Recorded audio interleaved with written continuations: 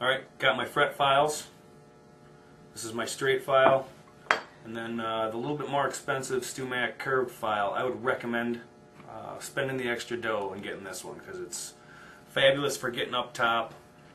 Uh, but I do want to show you both both techniques. Okay, so uh, what we're going to do now is we're going to take that flat landing on each fret. We're going to start down here and we're going to work our way up, and we're going to just round each side of the fret wire off. Okay, I've got a large uh, fret wire, so I'm going to use the large size. Uh, if you can get a used tool for the first time you do these, it, it's great because it's a little bit worn.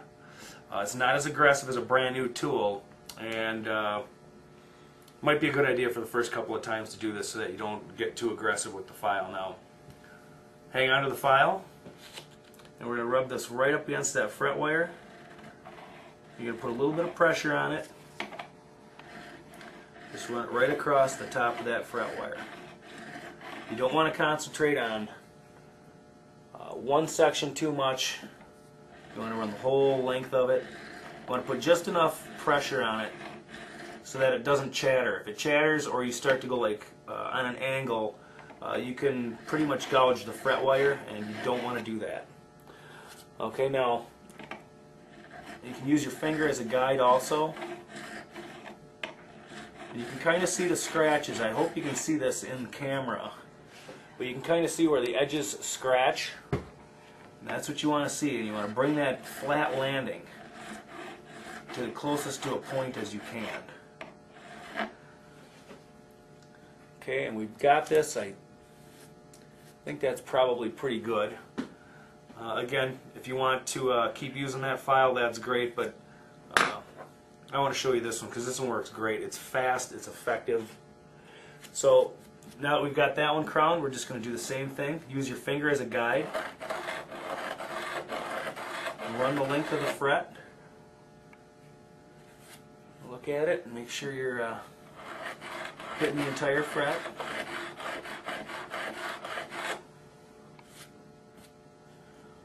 This was a proud fret. This one was sticking up a little bit. Take a little bit more uh, filing to get this uh, where we can go. And you can see too, uh, when you're up on this, you can kind of see if your landing's getting smaller in areas and where you're kind of hitting. Uh, you want to kind of try and bring that to a point, and if you've hit other areas harder than the other, uh, work the file and try and make sure that you're hitting the areas that you need to hit rather than hitting the area you've already hit and going too far. Uh, just take your time, don't add a whole lot of pressure to the tool.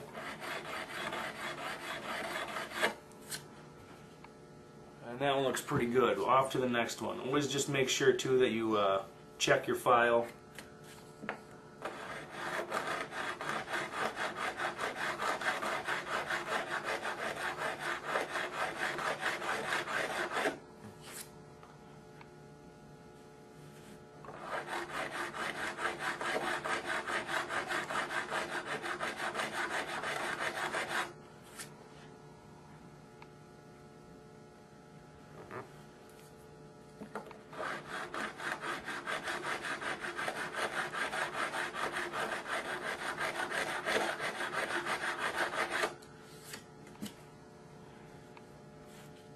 Looking pretty good here, but we got to go towards the center more on the fret. We'll work that area a little bit more. And you want to make that line as straight as you can. This file actually files both sides of the fret wire, crowns both sides at once.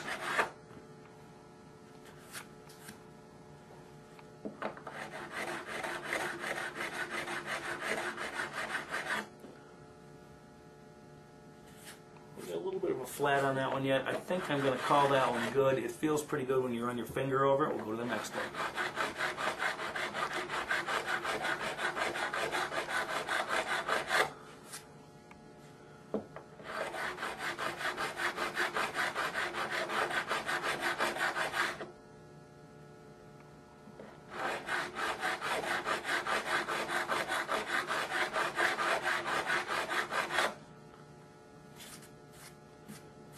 Just want to wipe it off, get the filings out of the way so that uh, you can see your work a little bit better.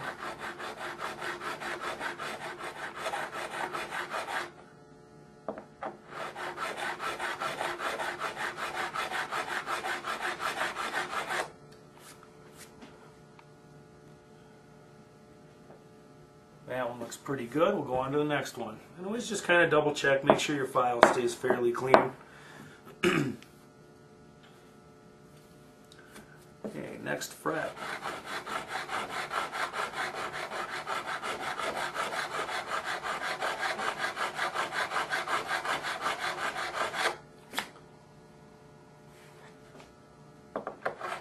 Remember, it's good to have good light when you're doing this so you can see your work. Using that 600 grit gave us a nice, uh, little bit of a shine on the top so that we can actually see where we're grinding. Because we're kind of going across the grain of what we just did. That's got a nice round to it. Off to the next one.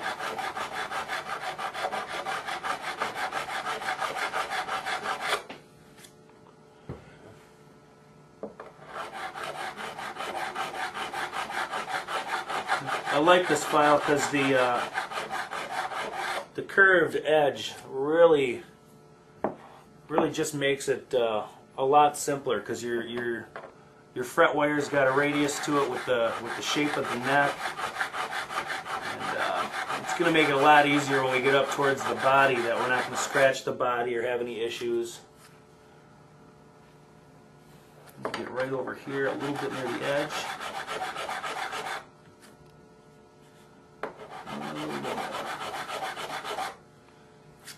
Good to go. We'll go to the next one. Now, if you don't he's exactly perfect, that's okay, because when we're done here, we're going to go and polish these frets up. Uh, and the more that you do this, the uh, easier it'll become, and you'll get a better, uh, perfect land out of this. And uh, you'll get the, once you get the hang of it and you do a couple of necks, uh, it really will make your guitar really perform well. And uh, you know, you got to build a little bit of technique with this. And again, when you're doing this, try not to be too aggressive. You can always take material off, you can't put it back. Next.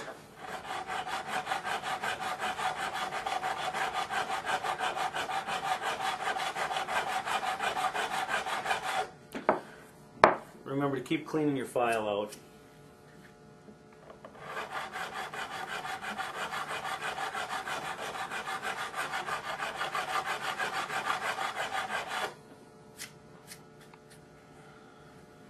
Okay, a little bit over here.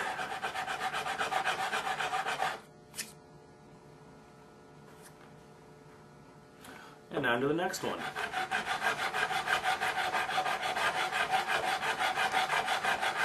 You want to make sure too that when you're doing this that you don't jump off and hit another fret and put a ding into it. You can use your finger as a guide. I've done a few of these and uh, I'm fairly comfortable with what I have to do, but again, you can always put your finger right there just to guide it.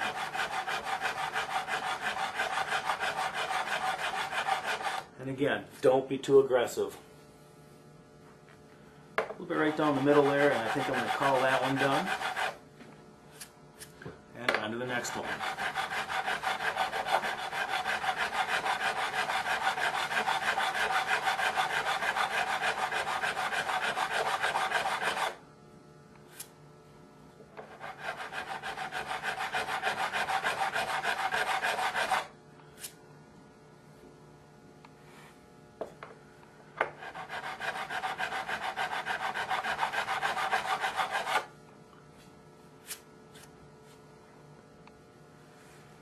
A little bit right here yet.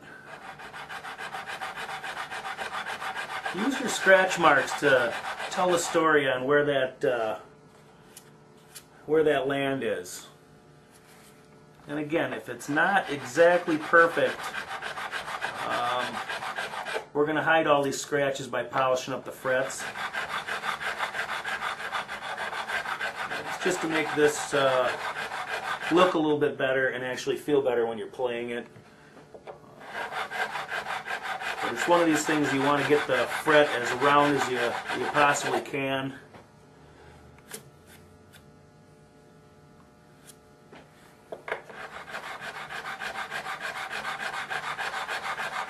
But you don't want to go too far where you actually start taking off the top of the fret because then you lose your level. And we did a lot of uh, a lot of sanding, a lot of elbow grease to get these frets leveled properly. Uh, when you get into this stage, the last thing you want to do is have to start over, so you got to be very careful.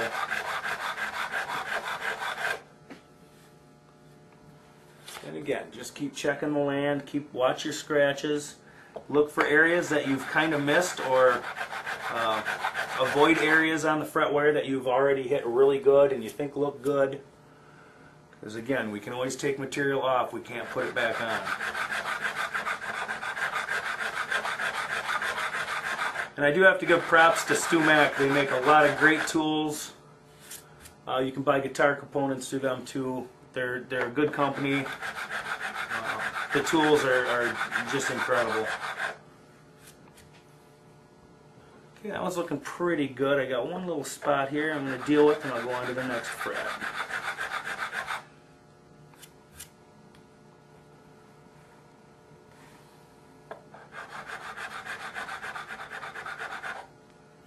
And to the next one.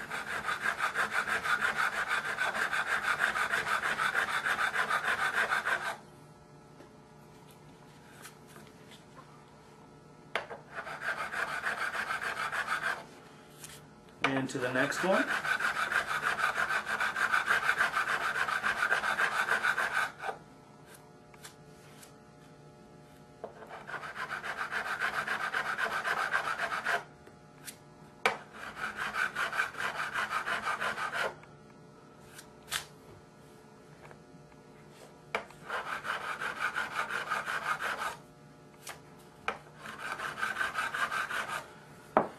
Kind of feel my uh, files getting a little bit dirty.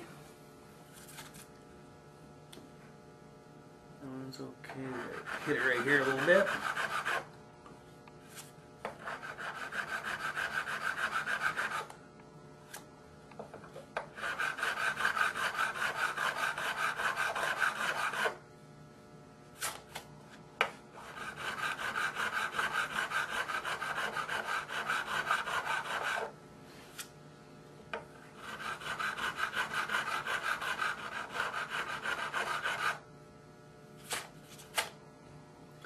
And right here too, if I was using that flat file, I'd be having a very hard time getting past the, uh, the body. This allows me to lift it up, keeps my hand out of the way, keeps good contact with the fret wire and the file.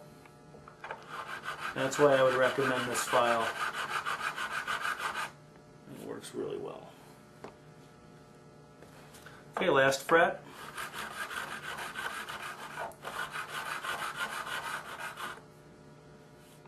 Okay, let's wipe this down and get all that, uh, the filings off. You'd rather have that in the rag than sitting on the fretboard because what we're about to do is polish the frets and we want to get all those heavier pieces off of there. So I think I'm going to regroup here, uh, get my micro mesh ready, and then we'll uh, polish those frets up to a beautiful shine.